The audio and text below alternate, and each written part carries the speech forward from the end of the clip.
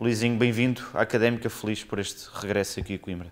Sim, muito feliz. Eh, já uh, ansiava, uh, já houve a oportunidade de, de antes ter, poder regressar aqui à Académica e estou muito feliz por, por, por dar este passo e por regressar a uma casa que, que gosto e que, e que é uma casa com, com muita história.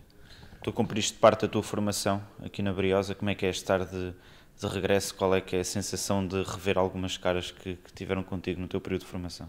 Ah, é uma sensação muito boa, porque uh, logo desde o início, quando eu cheguei e quando soube da, e quando souberam da minha chegada aqui a, a Coimbra, uh, o apoio manifestado por eles e por toda a gente foi, foi muito bom, fizeram-me rapidamente sentir em casa e estou, como eu já disse, muito feliz por, por regressar a Coimbra.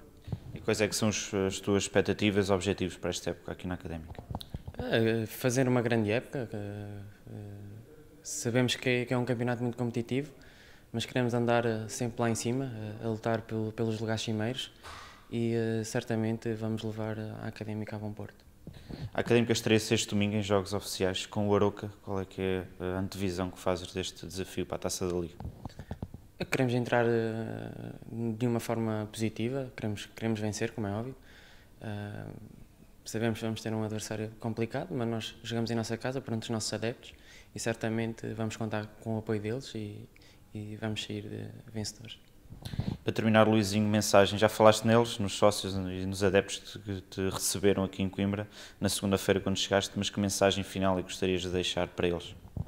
Que contem sempre com, com muito trabalho da nossa parte, com o maior empenho e que não deixem de ir ao estádio, que nos apoiem sempre, tanto nos que sejam, espero que sejam mais momentos bons do que menos bons, mas que nos menos bons que estejam sempre ao lado da equipa e que apoiem sempre a equipa a 200%, como têm feito até agora.